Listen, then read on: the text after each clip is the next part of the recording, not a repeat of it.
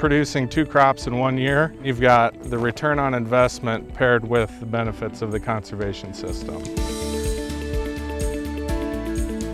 Hello and welcome to this edition of the State of Soy. I'm Aaron Putze. I'm visiting with Alex Schaefer. Alex serves as a research agronomist for Iowa Soybean Association's Research Center for Farming Innovation. And Alex, we're here to talk about relay cropping. And you know, some may believe that, well, it's a kind of a seasonal topic, but it's really a year-around thought process that goes into relay cropping.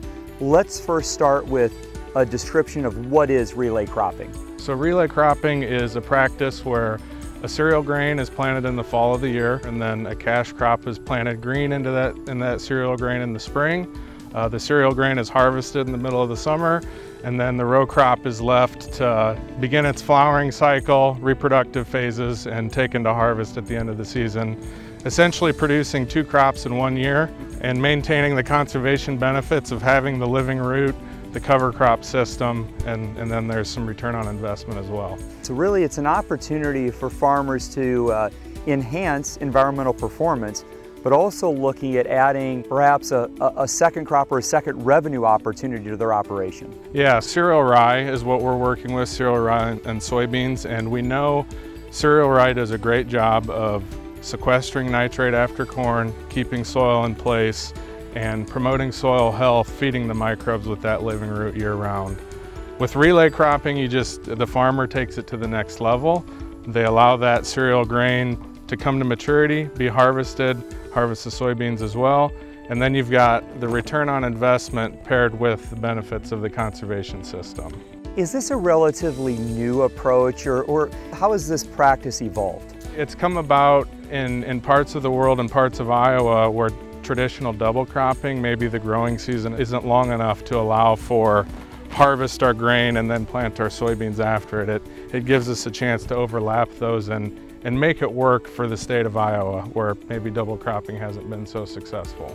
So for the farmers listening into this conversation, who's really at the ready to maybe participate in this kind of work? Yeah, the ideal farmer would be somebody who is an experienced conservationist type of farmer, somebody that has dealt with cereal grains or cereal rye specifically, and um, they're comfortable planting their soybeans green into the system, their planters outfitted, uh, with all the accessories they need to, to make that a successful operation.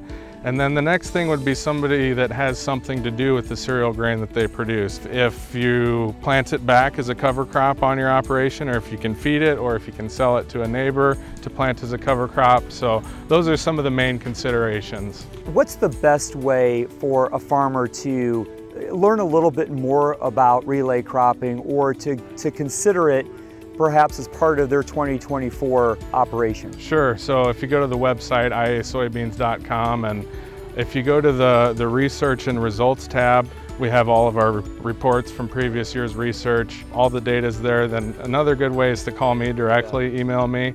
Um, I love talking to farmers about this practice and kind of giving them some tips and tricks on how to be more successful and, and realize that return on investment that we've seen. And that's really what it's all about. When we say we're driven to deliver at Iowa soybean, we are a greater ROI on every acre.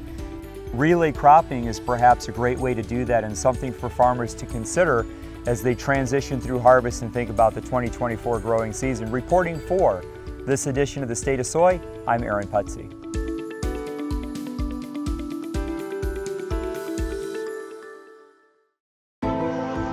Progress is a human invention.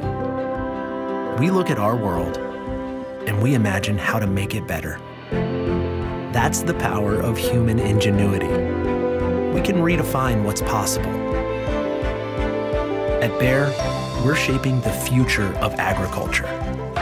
Like farms where all life grows together. It's not impossible, it's progress.